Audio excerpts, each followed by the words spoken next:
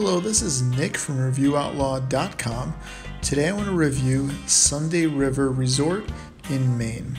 Uh, so this is one of my favorite snowboarding mountains. It's a huge mountain in the Northeast.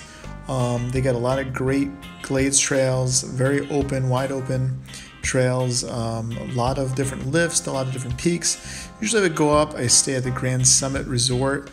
Um, it's right kind of in the middle of everything, and you'd ski on, ski off.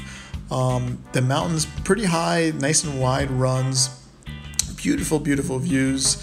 Um, and it's not that far away from Rhode Island where I live. It's maybe three and a half, four hour drive. Um, so it's pretty close.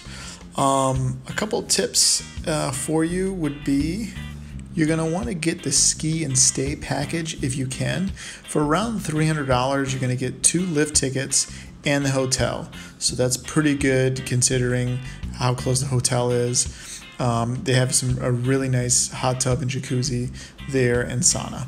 Um, just you know, it, there are some pretty difficult black diamonds there. So if you're a beginner, they do have some good green trails too, but you really want to look at the lifts as you go up to make sure that there are green trails because something like white heat would be on black diamond only. And if you get stuck up there, it's going to be really difficult to come down.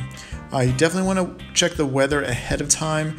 What you want to look for is blue skies, 25 to 35 degrees. If it's too cold, sometimes like too, and the wind actually is very important as well. So uh, wind, you don't want anything over 15, 20 miles per hour, or they're going to really slow the lifts down, um, and that can affect your day dramatically if, if you're only running half the lifts that day.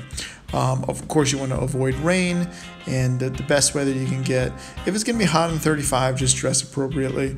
Um, they, they make a lot of snow on that mountain, so it holds up really well. So even if it hasn't snowed for, for a good amount of time, it, it's fine to go up there. They do groom very nicely as well. So you guys have any other questions, let me know. Thanks a lot for watching. Hey guys, thanks for watching my video. If you have time, please subscribe to my channel. Click here to watch more videos or please give me a thumbs up. Thanks.